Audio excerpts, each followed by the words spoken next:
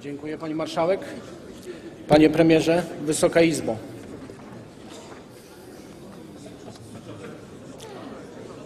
Chcę Wam się przyjrzeć, koledzy i koleżanki z Platformy Antyobywatelskiej.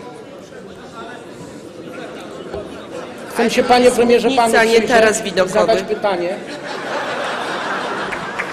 dotyczące pracowników samorządowych.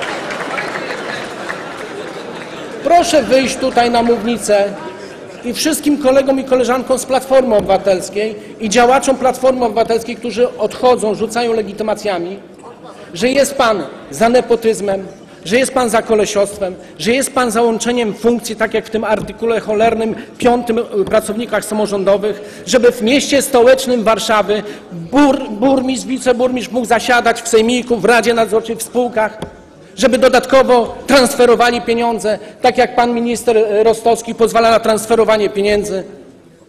Proszę wejść tutaj i odpowiedzieć, bo pan doskonale o tym wie. I proszę się nie zasłaniać tym, że nie mogę wejść i nie powiedzieć obywatelom i działaczom, którzy odchodzą. Dziękuję.